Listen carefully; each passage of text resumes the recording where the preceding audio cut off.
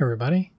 Okay, let's give this problem a try. So I was already contemplating that we're going to use a delta to y transformation, so I kind of loaded this up in advance. But it looks to me like these three form a delta, or these three form a delta. So then I'm just going to pick one of the two and know that you can always use the other one and you'll still get the right answers. So if I pick these three, just pay attention to the nodes. Like if I call this A, B, and C, that's over here, A, B, C corresponding to A, B, and C. So you leave these nodes as they are. And then you just change the resistors within them from a delta kind of shape to a Y shape. So this bottom drawing, I'm going to erase these three because my intention is to replace them with a Y like this. Here, here, here. And if I just look at the pattern, like node A is here. So opposite node A is RA. So that would be the 20 ohm. Opposite node B is this one. So this is RB. Opposite node C is this one. So this one is RC. And then I can just use those values and just plug in the number. So RB is 60, RC is 120 over 120 plus 60 plus 20. So that's 200. Punch that in the calculator. Okay. RC 120, RA 20 over 200. Punch in the calculator. And then RA is 20, RB is 60 over 200. Punch in calculator, and we got all three. So R1 is this one. So that's 36. R2 is next to node B, so that's this one over here, 12. And then RC, and R3 is next to node C, so right here, 6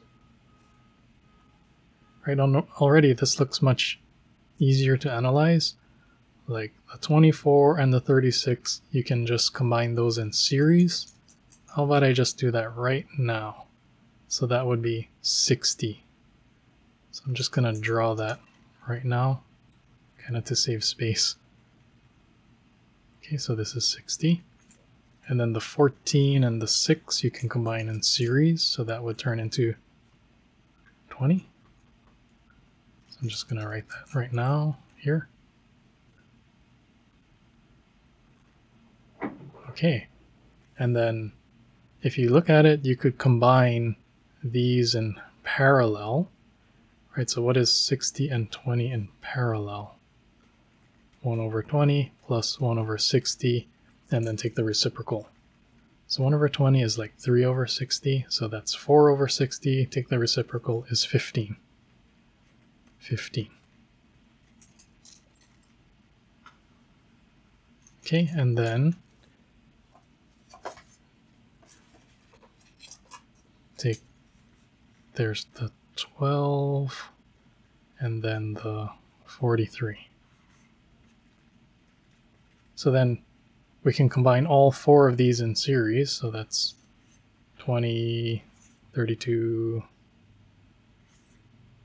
75, right? So, so the whole thing combines to be 75. Just to save space, I'm just going to draw it right here like this. There, right? And the voltage source was 750. So that means we know the current going like this is coming out of the source 750 over 75, 10 amps. So that means coming out of the source is 10 amps. Like this. Like this. Which means we can actually answer part D, the power. So notice that the voltage is positive going down, and the current is positive going up. So it's actually negative 750 times 10, so negative 7500 watts. Negative meaning power is being delivered, right? Which is what we expected. So there's part D. And then if you look right here at this node here, see how we got 10 amps going in, and then part of it goes this way, and part of it goes this way. I'll call this I1, and I'll call this I3. There's already an I2, so I'll call it I3. Okay, let's focus on that 10 amps and then it splits this way, this way, which means it's a current divider, right? Because part of the current goes this way. Part of the current goes this way. And then let's just use the current divider equation. So this was 60, this was 20. So current divider equation, IS times 20 over 60 plus 20. So that's one fourth of 10 amps, which is 2.5 amps. Okay, and then over here, current divider, I source times 60 over 60 plus 20. Okay, so that's 3 fourths of 10 amps, which is 7.5 amps. Okay, so we got if we look at the picture up here, it's right currents coming this way. I1 is 2.5 amps. So we actually answered part A already. And then the current here is 7.5 amps, which means you can solve for the voltage here, you can solve for the voltage here using Ohm's law. Okay, but then also part B is asking for the voltage here. Can we get it? Yes. Let's use KVL. Okay, so let me draw this again. So just to focus our attention here.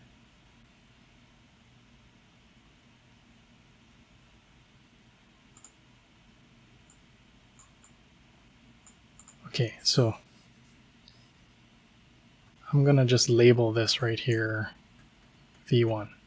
And I'll label this over here V3.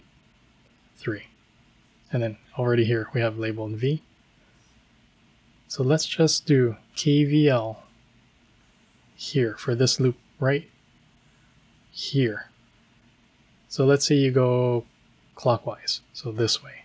So that's negative V3 plus V1 plus V going this way. So what I just said was negative V3 plus V1 plus V equals 0. That's KVL for this loop uh, going clockwise. And we wanted to solve for V, so just move these on the other side. So V is V3 minus V1. Can we get V3? Yes, from Ohm's law, because we know the current already. Right, the current here we just solved earlier was 7.5 amps. The current I1 is 2.5 amps. So what is V3? The voltage is positive this way, the current's positive this way, so V equals positive IR. 7.5 amps, 14 ohms. And V1 voltage is positive this way, current is positive this way, so V equals positive IR, so 2.5 amps, 24 ohms. Punch in the calculator, 45 volts. Okay, so we got this is 45 volts. Also know that if we know the voltage, 45, and we know the resistance, 60, we can even solve for the current here. Let's call this I4.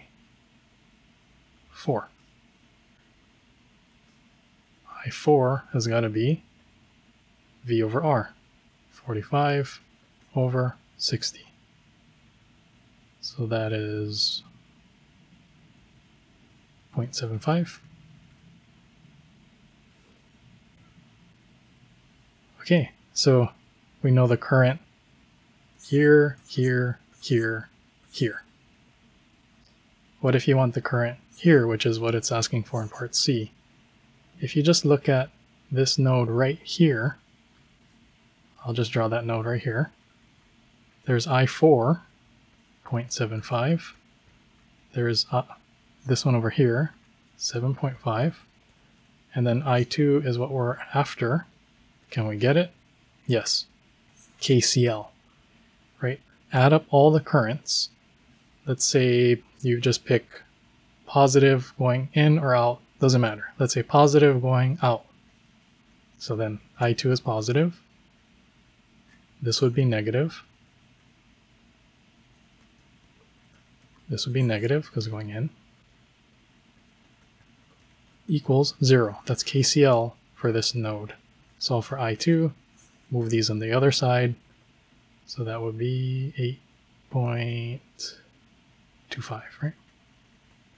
There we go. So that's part C. And so that's all the parts for this question. You can solve for everything. Like say, what is the current here? Can do. You just do KCL at this node, right? Because you know this current and you know this current. So that's the only unknown. Once you solve for this current, you know the resistance, which means you can solve for the voltage. And the only thing left is this one. Note that this resistor, this voltage source, and this resistor, they're all in series. And we already know this is 10 amps, which means this is 10 amps. And we, we know the current, we know the resistor, therefore you can solve for the voltage. And now that you know the voltage and the current everywhere, you can even solve for the power everywhere. So you can solve for everything everywhere. Okay, so I hope that was helpful.